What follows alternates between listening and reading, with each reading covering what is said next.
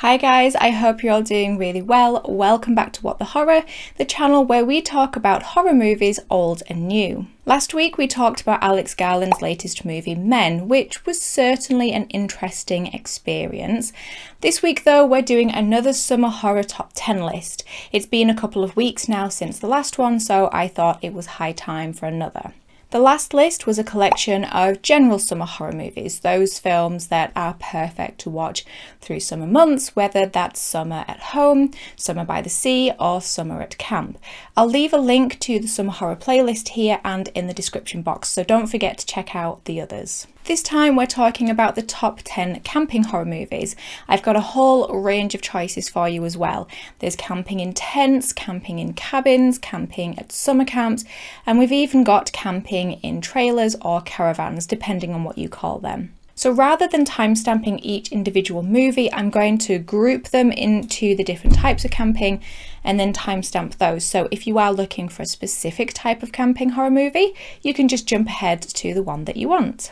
So let's start our camping horror movie list with a trip to summer camp. And kicking off this list, let's just get it out of the way. It's Friday the 13th, probably the most well known and well loved summer camp horror movie, and I imagine no surprise to you guys. You could choose any number of the films from the Friday the 13th franchise from part 1, part 2, Part 3, Part 6 and the 2009 remake, but for the sake of this list I'm choosing Friday the 13th Part 2, released in 1981. After surviving the events of the first movie, a traumatised Alice becomes the victim of a mysterious assailant while at home. Years later, a group of camp counsellors head to a new camp at Crystal Lake, unaware of the danger that awaits them. After the success of the original Friday the 13th, Paramount Pictures decided to go ahead with a sequel. In fact, they already had a long term plan to release a new Friday movie on a yearly basis and have it be a big event for its audiences. A lot like Saw and Paranormal Activity did, releasing a new movie every Halloween. Friday the 13th Part 2 has possibly one of horror's most popular final girls. After Adrienne King was unfortunately stalked by an obsessed fan after the release of the original movie, she asked for her role to be much smaller in the sequel. So, the final girl baton was passed to Amy Steel, who plays Ginny, Part 2's final girl. Ginny is intelligent, endearing, and displays a lot of ingenuity. I think Ginny is definitely some people's favourite aspect of the film. Not everyone is a fan of the sackhead look of Jason in part two, and I don't personally mind it. Look, if I'm looking for a Jason hit, I'll check out one of the later entries when he's rocking that casual DIY sportswear look. What I watch part two for is the setting and the characters. Part two actually has characters that I like and I enjoy watching them before they turn into kill fodder and the setting is perfect for summer watching. You've got gorgeous sunny days at the likes at the lakeside camp where they're swimming in the lake, running in the woods, they're enjoying barbecues, and they're telling ghost stories around a cozy campfire. Friday the 13th Part 2 is one of my favourite summer rewatches. Next up, we have Sleepaway Camp, released in 1983. Yes, I know this is a repeat as I included it in my top 10 summer horror movies list, but this is perfect for this list because it's set in a summer camp where the kids are, you know, camping. After a horrible boating accident kills her family, shy Angela moves in with her aunt and cousin Ricky. One summer, they head to Camp Arawak, and shortly after arrival, people begin getting killed off one by one. Sleepaway Camp is set at a summer camp like Friday the 13th, but what I love about this film is that we actually have a range of characters from camp counselors to actual campers. We follow the characters as they actually use the camp, and I think that it makes the movie more interesting to have that interwound with the killings.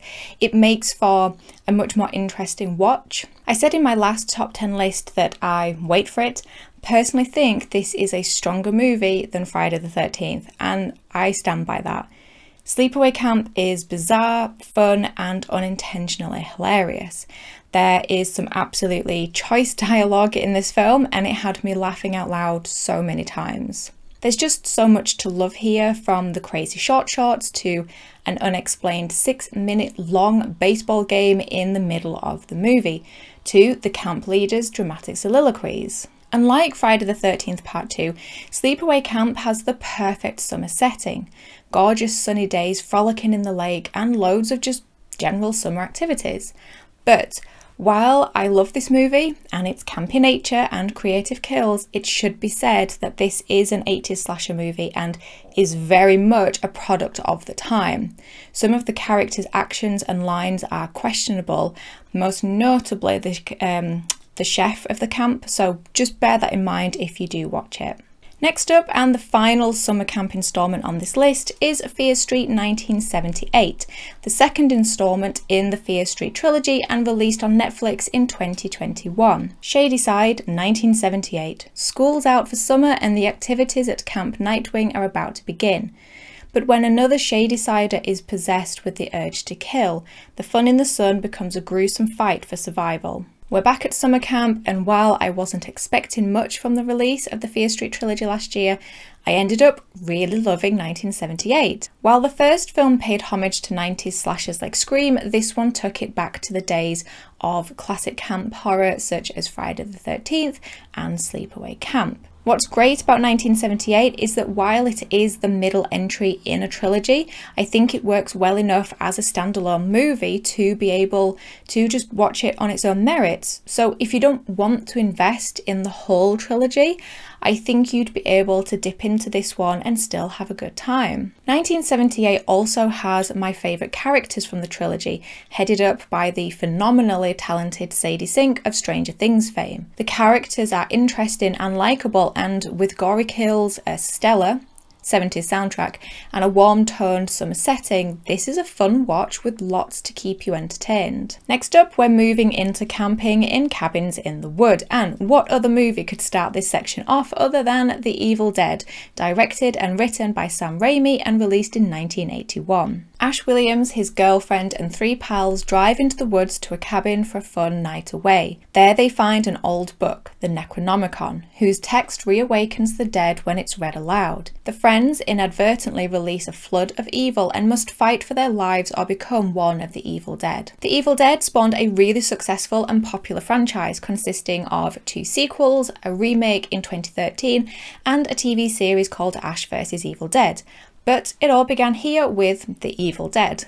Sam Raimi and Bruce Campbell had been friends for a long time, having grown up together, and the pair made a few low budget projects but wanted to break into the horror genre. The Evil Dead was apparently originally called The Book of the Dead, and I love the fact that they basically got the funding for this movie from their friends and family. The original Evil Dead has a lot of the same gritty brutality that the Texas Chainsaw Massacre has, and is often well known for some of its notorious scenes, including one involving an overfamiliar tree, we'll say. But there is a lot to love about The Evil Dead, including the incredible practical effects and the introduction of one of horror's greatest final boys, Ash Williams. If the darkness of the original isn't for you, then you can always try Evil Dead 2, which, while being a sequel, also kinda acts as a reboot of the original, but it removes certain scenes and certain characters. Evil Dead 2 is also possibly more iconic than the original.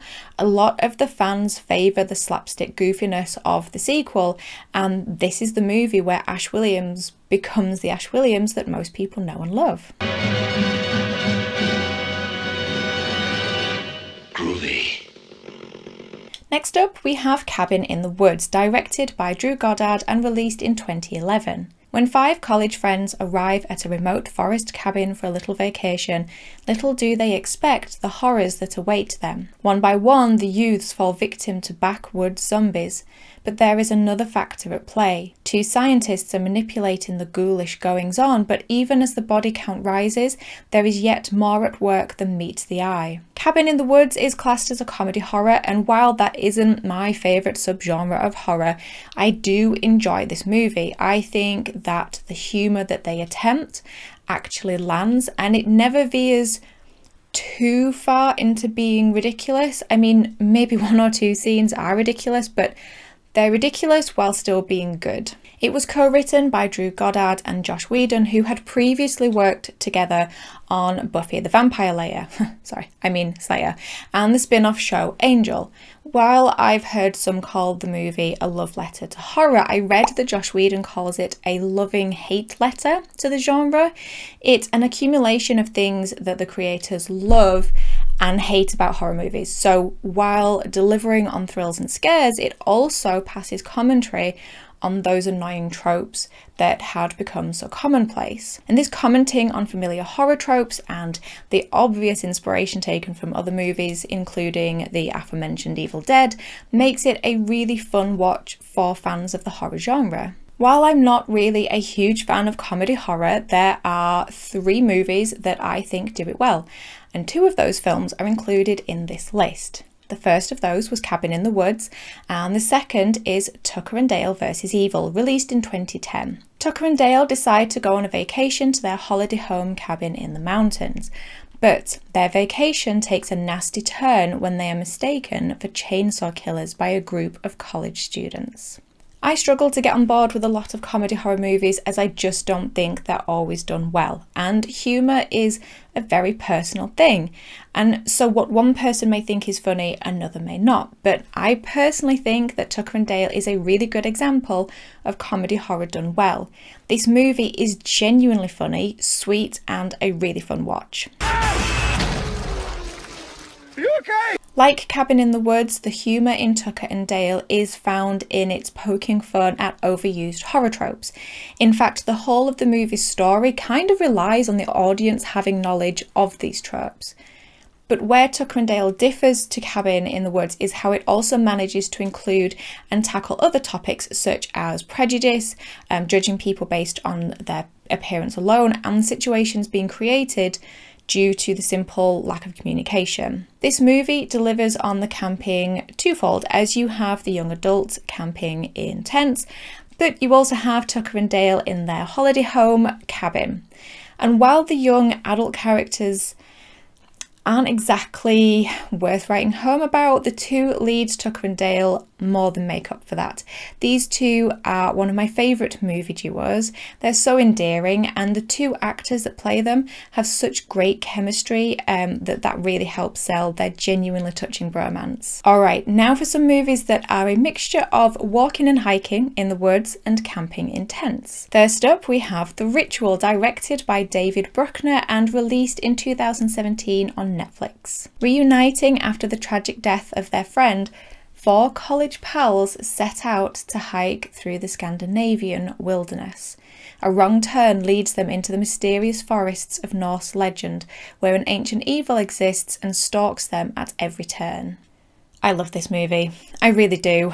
I can't really explain why I love it so much because, believe me, it isn't a perfect masterpiece, but it just randomly burrowed itself into my heart. I think what really helped it is the experience I had watching it. One night I couldn't sleep, so I got up and I set myself up on the sofa with this movie. The whole world was dark and silent except for the sounds of this film coming at me each and every way through my surround sound. And in my sleep deprived state, I was just so on edge as I could hear twigs cracking all around me. I was fully immersed in the environment of the movie with the characters. This may seem a bit of an odd addition to a summer horror movie list, but it is first and foremost a camping horror movie list, and this one absolutely fits the bill. In fact, this one may satisfy those thoroughbred campers and walkers out there, as there are plenty of tents, maps, and those tiny little stoves, walking sticks, you name it, it's got it. I've seen some describe this movie as boring in parts, which in a small way I can understand, but to me, in those moments, I just enjoyed the character based action. The key event that leads our group of campers to the situation that they end up in is a really interesting one that allows for an exploration into grief, blame, cowardice, and friendship, which I really enjoyed. I also really love the very British broing we have in this movie. I mean, it literally opens with them having pints in the pub. Obviously, it's a very specific type of British broing, it's not representing all British men but still I found it entertaining. And you've got some choice lines such as Morning. Fuck me, it's cold. Quite frankly, right now, Sweden can lick my bridge. Lick you what? And Look, I'm not. I'm not going to plan a lads' holiday over a fucking avocado on toast, mate. I'm just. I'm But as slow as the first two acts of the ritual are, it makes up for it in the third act where things get a little more balls to the wall bizarre. And there was one scene that really got under my skin and I had a very visceral reaction to.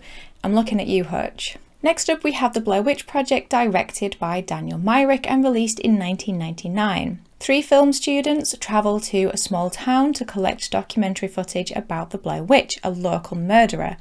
Over the course of several days, the students interview townspeople and gather clues to support the legends. But the project takes a frightening turn when the students lose their way in the woods and begin experiencing horrific noises and events. Look, I know that there's a mixed bag of opinions for this movie. It's a Marmite movie. People seem to either love it or hate it. On its release, it received mostly positive reviews, but has gone on to have what seems like less than positive. But you can't say it doesn't fit the purposes of this list. The Blair Witch Project is a lot like The Ritual in that it's a mix of camping and walking. You've got tents, you've got maps, you've got the woods, you've got gross body fluids, and you've got people having a miserable time. I mean, that sounds like camping to me. I'm not kidding. The thing with the Blair Witch Project is that love it or hate it, or just apathetic for that matter, you can't deny that it was pretty groundbreaking on its release. This was back in the days before found footage had been absolutely played to death and it was a fresh way to tell a story and create scares. And I think that it does deliver on scares in a basic way. It plays on and explores our fear of the dark and things that go bump in the night. And it also does something that some other movies could take note of and it leaves things to the viewer's imagination. I think that what I imagine happened to Josh is probably far worse than anything they could have shown. I actually think that the way they marketed this movie was probably far more groundbreaking than the movie itself. It was the first time a movie had successfully used the internet as a marketing platform.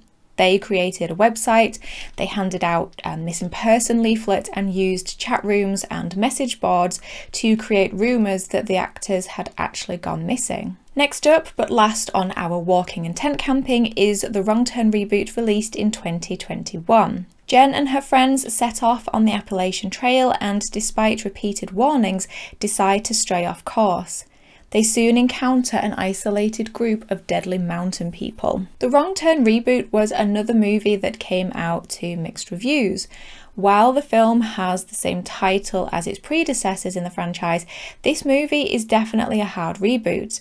It removed the cannibalistic mutated mountain men aspect and instead it chooses to comment on how people regularly make judgments about other people, whether that's their lifestyle, their education, or their sexuality. With the change in style and change in antagonist, it's not hard to understand why people questioned why it was even called Wrong Turn, but it probably has something to do with the fact that it was written by Alan B. McElroy, who also wrote the 2003 original. I will say that the reason this movie is on this list is, um, aside from it being camping, it is hands down the most impressive film in the franchise visually.